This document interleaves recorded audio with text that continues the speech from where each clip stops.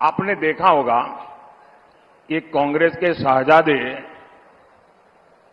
पिछले पाँच साल से सुबह उठते ही माला जपना शुरू करते थे।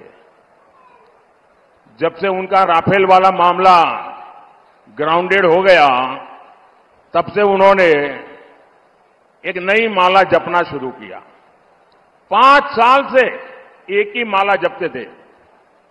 पाँच उद्योगपति पाँच उद्योगपति पाँच उद्योगपति। फिर धीरे धीरे कहने लगे, अंबानी, अडानी अंबानी अडानी अंबानी, अडानी। पाँच साल से, लेकिन जब से चुनाव घोषित हुआ है, इन्होंने अंबानी, अडानी को गाली देना बंद कर दिया। मैं आज तेलंगाना की धरती से पूछना चाहता हूँ जरा ये शाहजादे घोषित करें कि चुनाव में ये अंबानी, अडानी से कितना माल उठाया है।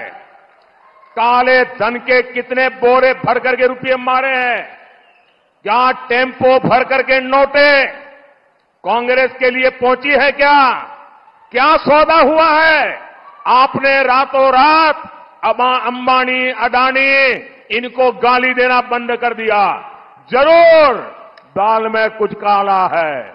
पाँच साल तक अंबानी अदानी को गाली दी और रातों रात गालियाँ बंद हो गई।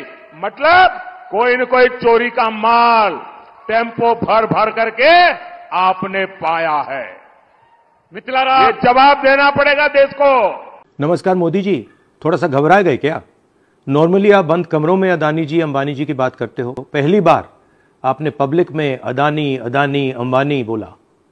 और आपको यह भी मालूम कि ये टेंपो में पैसा देते हैं। क्या ये आपका पर्सनल एक्सपीरियंस है क्या?